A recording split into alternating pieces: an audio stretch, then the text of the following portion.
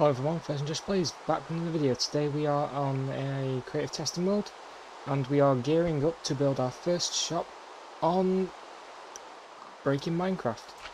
So we are going to be selling nether items in here. We've got a nice little pathway, as in it looks like this. It's got a fence gate underneath it so you, you just literally instantly pop up. On the inside we've got some chests, we've got some barrels, we've got a way up here. Way up here. I'll have to fix that. Doesn't matter, I'll just break through the floor in a minute. If I can get down. Oh. Got way up here, so we could have more barrels up here for selling stuff.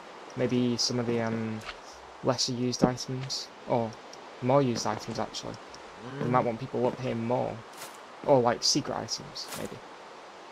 So yeah, tell me what you think of this. We're gonna have, um, I'm probably gonna go on a stream with Tui, Mad Tui, go check out his channel anyway, to try and get a Ravager to pull this thing. So it'll, it'll look as if it's pulled it all the way here. That's about it. Thank you everyone for watching. Don't forget to like and subscribe to help out the channel. And we'll see you all later.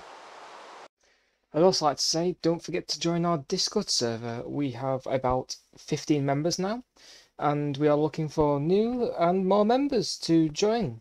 We are also conducting a challenge where you build your own storage system that moves like items around, bounces them all around, and holds as many items as you want. Winner, uh, I've not decided. I think it'll just be a roll on Discord. That's it super cool outro music. Buh,